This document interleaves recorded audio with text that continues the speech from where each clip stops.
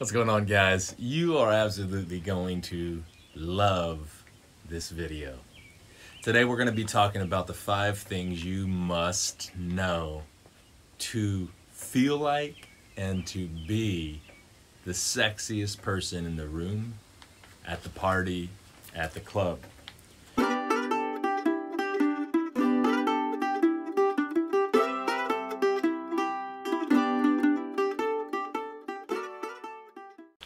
Now, if you're anything like me, you don't have the sexiest body in the world. You might not be the sexiest individual on the face of the planet, but you can feel sexy.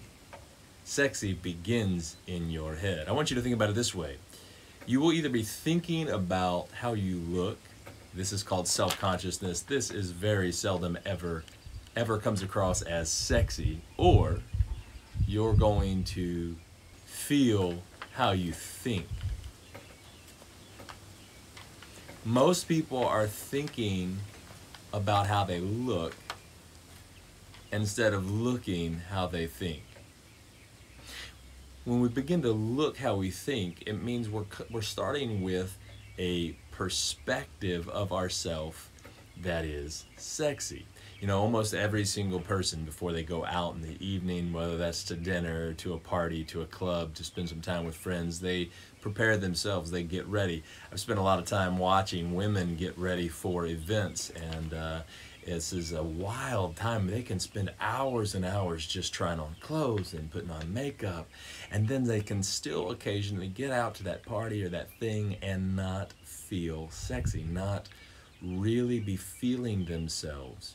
And I think if we take at least a little bit of time to prepare our minds, then this will help. You need to start thinking sexy. First of all, you start to do this by saying, I am fucking sexy. And stop thinking to yourself, I want to be sexy. Okay? Now, what we need to do is we need to start recognizing that sexy is more in our body language than in our actual body. And we've all seen that person that aesthetically, they're very pleasing. 10 out of a 10. Drop dead gorgeous. And yet, in a room with somebody that might be uh, a little overweight, maybe uh, not even wearing the sexiest clothes, they're not the sexiest person in the room. How in the world do you have a drop dead gorgeous body and not the sexiest person in the room?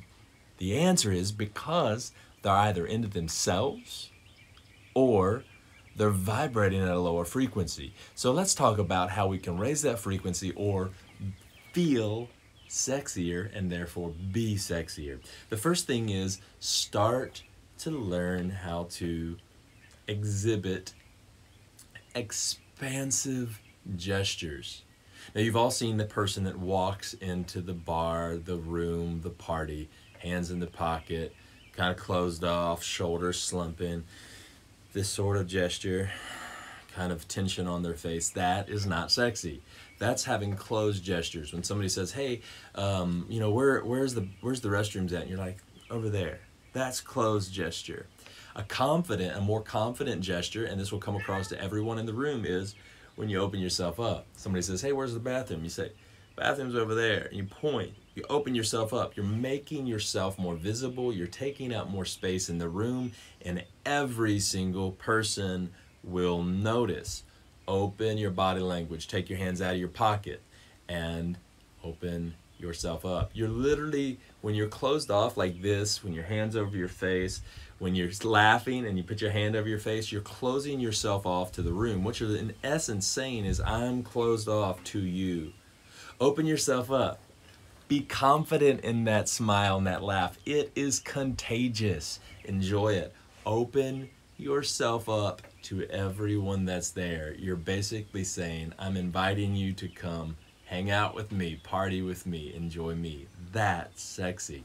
The second thing that we need to begin to recognize is we need to develop a magnetic body language. Now, let me kind of give you some contrast. Magnetic body language versus the seeker. Now, I don't know if you like people watching as much as I do. I like people watching. Sometimes my wife and I, Beth, will go out and we'll just people watch on the beach or at a bar or whatever for hours watching people dance. Now, sometimes, listen, that's why you're going out. You're just going out to watch. That's okay. But that, you're not trying to be the sexiest person in the room. You're just watching other people try to be the sexiest person. Hey, listen, that's absolutely cool. And sometimes that's fun for you. But if you want to feel and be sexy, you can't be that guy. The one that the guy or the gal that walks into a, a bar, club, a party, and is scanning and then sits down at the bar and is just looking everywhere else. This body language is called the seeker. In other words, I'm looking for fun. I'm looking for somebody to enjoy. I'm looking for somebody to talk to. And it's a, it's a body language that almost repels people. What it's saying to everyone else in the room, whether they recognize it or not, is this. The party or the fun is not over there with that person the party and the fun is everywhere where that person is looking. Okay? So, magnetic body language is to, to be in your moment, start a conversation. When you're talking to the bartender, be about the bartender. When you, whoever you're talking to, be about them. They are the most interesting person in the world. This attracts people. They want to feel good. If you want to be sexy, make other people feel sexy make them feel like they are the center of the universe. Now, this doesn't have to just center around if you go with somebody or if you're with somebody, the person that you're with. You can expand out and start conversations and enjoy other people and other other parts of the room, other parts of the club, the, the building, the office, whatever. But I need you to recognize right now, a magnetic body language is attracting people and saying, this is where the fun's at. So I'm opening myself up. I can I can scan the room like I own the place but it's just a quick scan and then back to the person that I'm with, back to the person that I'm engaged with, and uh, and it's easy to find somebody to engage yourself with, and one of the ways that we do that is with a smile. When you're walking, you smile. When you walk into a place, don't don't walk in like this. Don't try to be tough. Don't try to be the thug. That's not sexy. The thug is not the sexiest guy in the room, okay? The thug is where you go to get drugs or the thug is where you go if you want to start a fight. That's not the sexiest guy or gal in the room. Be sexy. I don't mean smile like this. I mean just a light smile on your face, casual smile, show some teeth. This is nice right here. I can just do this. I'm not over smiling, I'm not under smiling, I'm just smiling. I'm casual, I'm relaxed, I'm confident, and I'm smiling. The perfect smile draws people in. That's part of that magnetic body language it just feels good to everyone you're around. So I want you to think this smile equals sexy. And then once you've got that smile down, you walk in, you're smiling, eye contact. But they call this the Goldilocks rule, and that means you don't want too much and you don't want too little. Sometimes I've gotten in the habit of making too much eye contact in my life. I just want to stare into your soul. And while on the one hand, that's really cool and it can be very spiritual, especially if you know the person that you're doing this with. But if you walk up to a complete stranger and you're walking by them or they're walking by you, and that, that lady's walking by me and I'm just staring, I'm just staring, staring. And a smile happens and we greet, we exchange smiles, but I keep the stare. In essence, what I'm doing is called creepy. so back that off. You want to make eye contact because eye contact says I'm confident. Now, I'm going to be honest with you. The, gen- the current generation that we're living in is not very good at eye contact. So it's really simple. Make eye contact two to three seconds. If you're greeted with a smile, you smile. If you're smiling and you make eye contact and you're greeted with a smile, that's typically code for, hey, come talk to me, come chat with me. You don't want to sit there and be the guy that's stare or girl that's staring at another person all night long, making eye contact, exchanging smiles, but you never go talk. Just go have a conversation with somebody. That's a confident. I'm confident. I know who I am, and I want to chat with you. That is sexy. All right, the fifth thing here.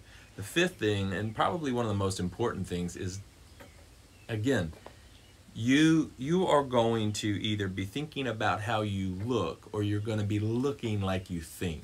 So you want to think sexy, but not be into yourself. Self there's an enormous difference between self-confidence, that's sexy, and self-consciousness, that's that's repelling.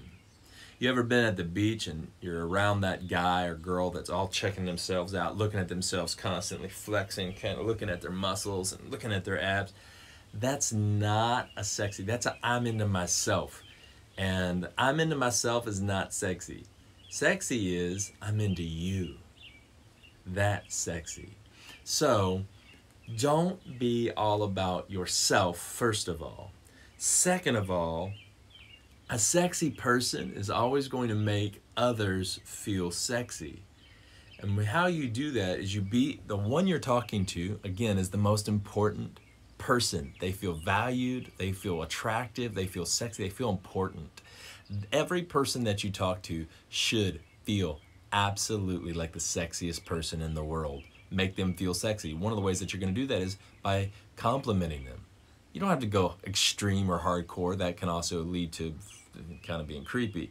But you want to just compliment, assure them that they're beautiful, assure them that they're that they're that they're fun. Be complimentary. And and here's the last thing, guys. Here's the very last thing, and probably the most important thing, and this is really key for us, and that is to drop the self that feels unsexy. And I have lots of videos on letting go of ego but this is the person you believe you are is the greatest hindrance to your feeling and being the sexiest person in the room.